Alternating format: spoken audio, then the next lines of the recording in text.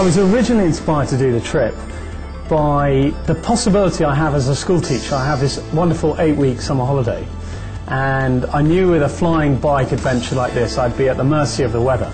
And I thought I need a decent period of time, perhaps a month, in order to do this trip. Cordial viewers, hello and welcome to Golden Age Technology on Supreme Master Television. Today we visit England to meet an extraordinary man who undertook a fantastic journey spanning the length of the United Kingdom on a flike or flying bicycle. John Carver, he's just an everyday Englishman, a 37-year-old information technology teacher at Cotsfield House School in Oxford with a passion for flying.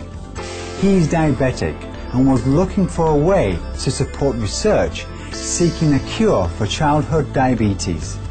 Mr. Carver then came up with a unique fundraising idea, a venture that had never been attempted before on a flike.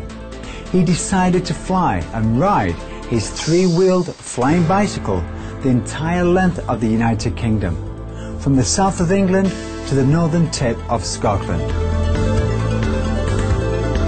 I love flying. I've been flying this thing for about six years, and I've always loved flying. And I thought, what a very exciting adventure to combine flying and bicycling, and most importantly, to raise some money for charity, which is something I'd never really done before in a big project. And this is such an unusual machine that I thought it would be a great opportunity for me to raise some funds for a charity that was close to me. His journey and eventual accomplishment of his goal earned him worldwide media attention and inspired the enthusiastic support of the public. He thus was able to raise over £17,000 for the Juvenile Diabetes Research Foundation, a non-profit organisation whose chief mission is to find a cure for type 1 diabetes. The foundation is the number one charitable funder of diabetes research globally. The charity that I was raising money for is called the Juvenile Diabetes Research Foundation, the JDRF. And basically, in a nutshell, what they do is they research um, ways to cure diabetes in children. Since I was six, I've been a, a diabetic myself, type 1.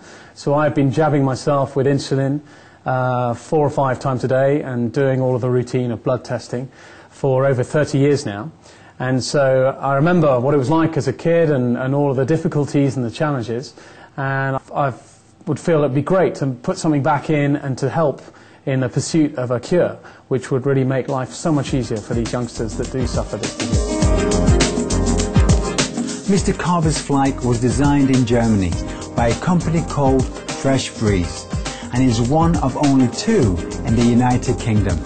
It is essentially a three-wheeled bike equipped with a 300cc two-stroke engine along with a propeller and a large parachute that looks like the flag of the United Kingdom or the Union Jack. Mr. Carver now explains the flike in more detail. So this is the flike, the flying bike, and it's basically three parts to it. Um, we've got the trike here, which is uh, three wheel, and on the front I've got 14 gears, and I can pedal this thing quite happily on the road and whiz around and go about 20 miles an hour on the flat, which is great. On the back, we've got the motor, and this detaches from the trike. This can be worn on the back actually. And uh, this motor is basically just a big lawnmower engine. Instead of a, a lawnmower blade, it's got two propellers, and they push me forward like a hovercraft. And on the ground, I can go about 40 miles an hour. That's a lot of fun. It's like a go-kart. And the third bit is not actually on view here, but you'll see it on the video, is the parachute, which attaches to these carabiners here.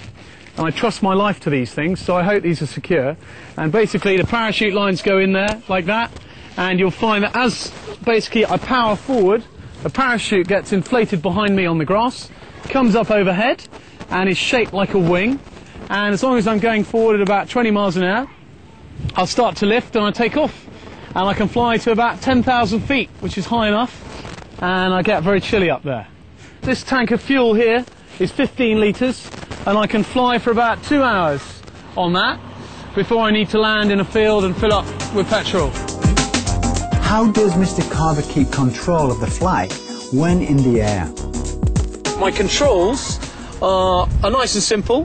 When I'm flying, I'm actually holding onto two brake lines behind me here. And as I pull right hand, I'll turn to the right. As I pull left hand down, I turn to the left. That's my steering. And the only other control I'm in charge with here is the throttle. After this brief message, we'll hear of some of the challenges Mr. Carver experienced on his 1,475 kilometer journey spanning the length of the United Kingdom. Please stay tuned to Supreme Master Television.